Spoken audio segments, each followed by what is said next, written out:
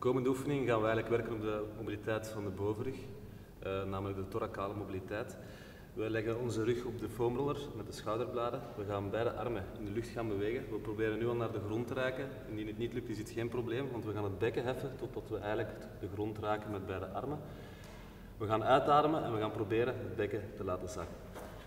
Indien nodig kan je vragen voor wat hulp, iemand die de handen fixeert op de grond. Je ademt rustig in en rustig uit en je houdt deze houding een tijdje aan. Wordt dit gemakkelijker, kan je de foamrol lager op de rug gaan plaatsen, dus lager als de schouderblaad.